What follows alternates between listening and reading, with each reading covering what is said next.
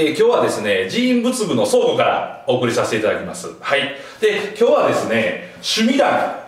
まあ、ここに置いてある台なんですけれども、まあ、趣味壇なんぞやと言いますとですね、この台の上にですね、まあ、空殿、まあ、お家みたいな形でこの上に置きまして、その中に、まあ、お釈迦様ですね、阿弥陀様等々、仏様が入っていただく、まあ、置く台っていう形になります。はいで、趣味壇、まあ、由来はで言いますと、まあ、お釈迦様がですね、考えられる宇宙ですね、宇宙の真ん中に趣味線、趣味線というものがありまして、それを、まあ、言うたら再現したものが趣味壇。こういう形になります。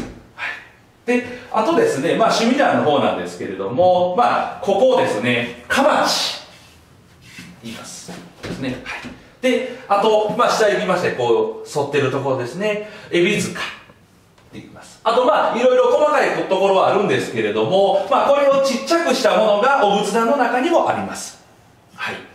で、あの、まあ、言うたら、段の一番上ですね。こういう形でありますので、またご確認ください。はい。で、あと、あの、こういう、まあ、趣味段なりますけれども、特別注文になります。はい。で、お寺様に、あの、まあ、言うたら、置いてある分になりますので、まあ、ご注文いただく際ですね、ここからここまで、このかまち幅ですね。